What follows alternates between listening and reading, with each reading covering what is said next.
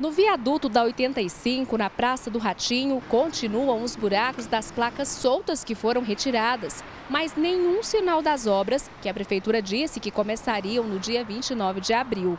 No viaduto da T63, também nada de mudança, concreto e ferragens à mostra. Uma das laterais está praticamente com toda a estrutura de fora.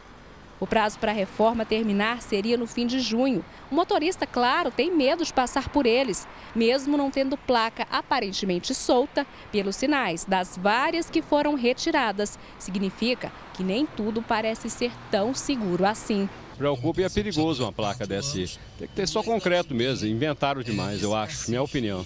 Problema seríssimo, né? Você está andando aqui e de repente uma placa dessa cai.